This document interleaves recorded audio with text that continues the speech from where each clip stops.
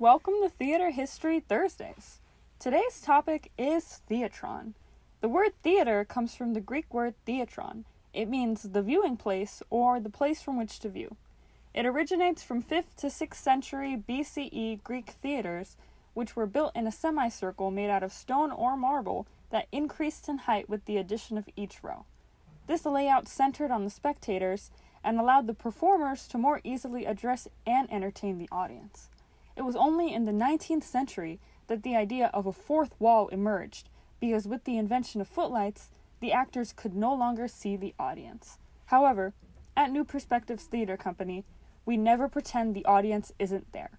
We believe that theater must be a communal experience in which we can hold a mirror up to society so that we can learn about ourselves and be changed for the better.